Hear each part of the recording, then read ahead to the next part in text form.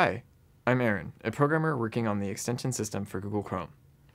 One of the most powerful features of our system is the ability to interact with web pages. This is done with a feature called content scripts.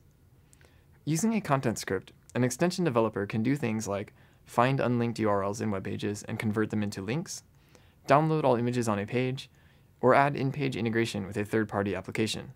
Content scripts do all of this by interacting with a web page's document object model, or its DOM for short. DOM is a tree-like data structure that represents the HTML for a web page, and this is the same API that is used by web developers today to make modern web applications like Google Maps. With extensions, the DOM for a web page is shared between the page's JavaScript and each of the content scripts that is also interacting with that page. Any of the scripts can modify the DOM, for example by removing a node, and all the scripts will immediately see the change. We want to share the structure of the DOM between web pages and content scripts, but it is important for robustness that the scripts themselves are isolated from each other.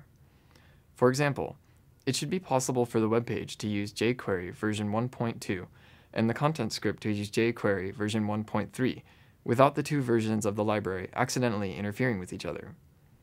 Also, since extensions have access to privileged APIs and sensitive user data, we need to make sure that the web page JavaScript cannot use the shared DOM as a way to get access to those APIs and that data. In Google Chrome, we keep content scripts isolated from each other and from the pages they are running on with a system called isolated worlds.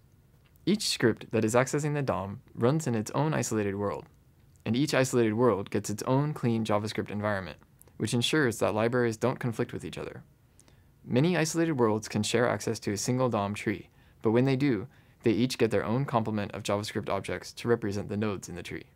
Since no JavaScript objects are shared between isolated worlds, it is not possible for web page JavaScript to use the shared DOM to break out of normal web page sandbox and somehow get access to the content script or its APIs. With content scripts, extension developers can take full advantage of the familiar DOM API to manipulate web pages. And because of isolated worlds, they can do this without having to worry about web pages or other extensions accidentally interfering. Learn more on content scripts and the rest of the Google Chrome extension system by visiting our website at code.google.com/chrome/extensions.